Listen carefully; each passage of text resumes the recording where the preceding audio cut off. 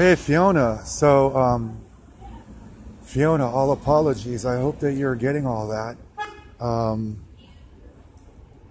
I uh, I have no idea. Like I'm just like running around like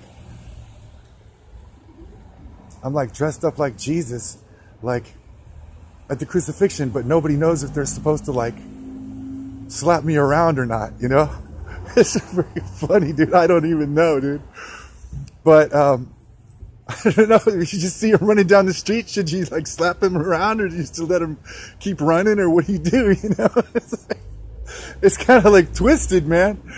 You know. But anyways, so I guess like he went after like he went after Ronald McDonald, which is interesting, you know. And uh, what is it like? You think you know something about me, or you just like had this funny feeling about me, like all these years, something like that. I um, uh, um, I guess I, you know, it, it's not that hard for me to, to to to take this back to like to like YMCA, you know. like, oh my gosh, and then she and then she just like and she became so famous and like, and then she did all these things. Oh, that's so amazing! Like, where is she? What's going on? I haven't talked to her in all these times, you know. And and that's about it.